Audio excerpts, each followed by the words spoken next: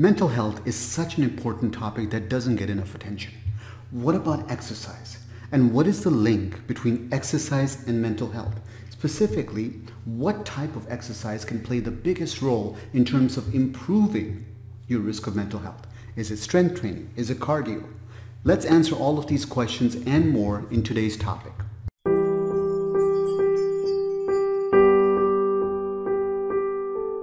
Before we get started, it's important to understand that when we talk about mental health, how significant it plays a role in everyone's life.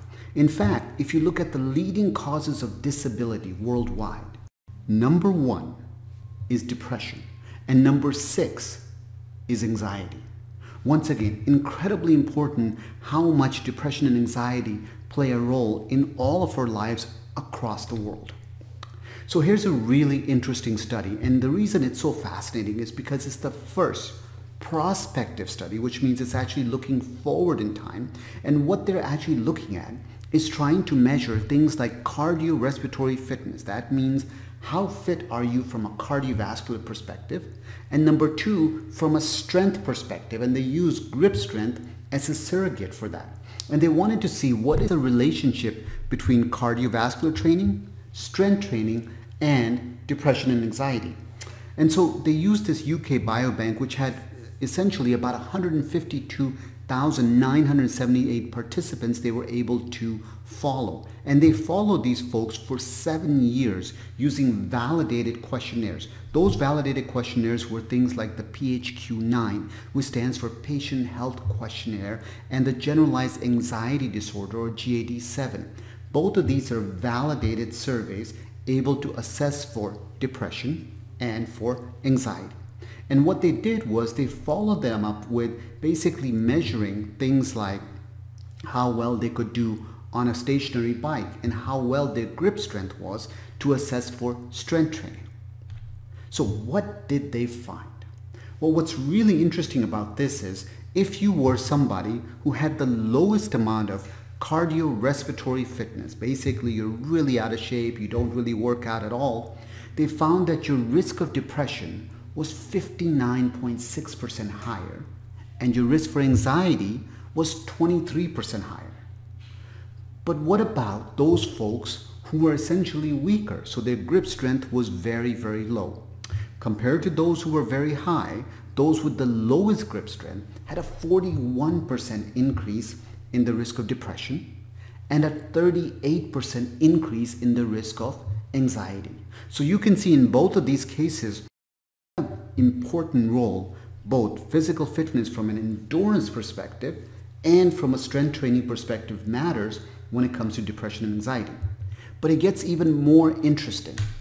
Let's take a look at both. What happened in those people who had the lowest amount of cardiorespiratory and grip strength. So in other words, these are your couch potatoes who don't do anything. What is the risk of depression and anxiety?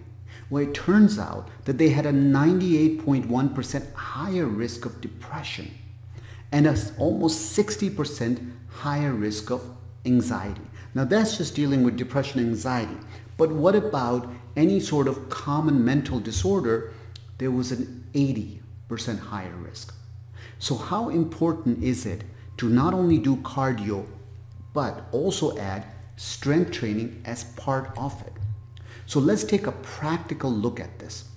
If you are somebody who has never moved and you're sitting there watching this video and you say, look, I've never exercised, it's hopeless and I'm doomed. No.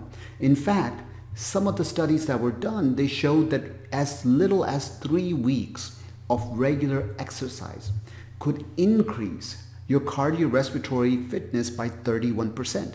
And it would only go up from there if you kept doing it. And if you bring it back to this current study and you say, well, what does that translate into my risk for mental health disorders? Well, just by doing regular exercise, you could lower the odds of having a mental disorder by 14%.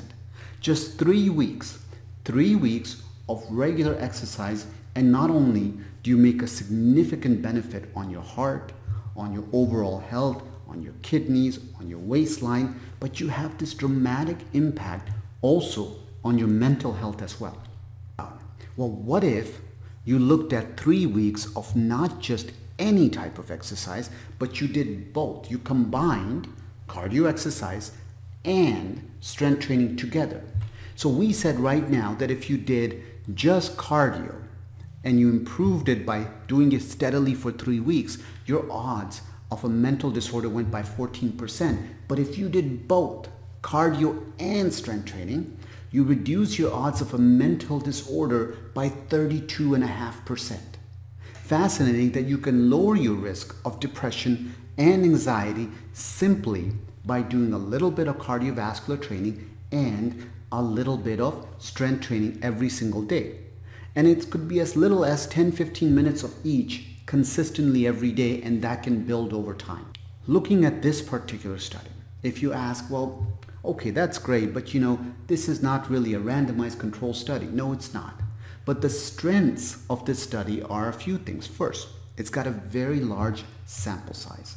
Number two, it's got a really good follow-up for that sample size. They followed these guys over seven years and they used validated protocols to make sure they could find out exactly what was going on in terms of depression and anxiety. So this wasn't subjective, these were validated protocols. Now obviously there are some limitations. This is an observational trial. They had low response rate. So what is the bottom line? What's the message to take home here? Even if you have never exercised in a day in your life, it is never too late to start. You can get up right now, do a little bit of walking. If you have lots of injuries, you can just get one or two pound dumbbells, start a little bit of resistance training. But the bottom line is get started today. And don't forget to subscribe, like, and share.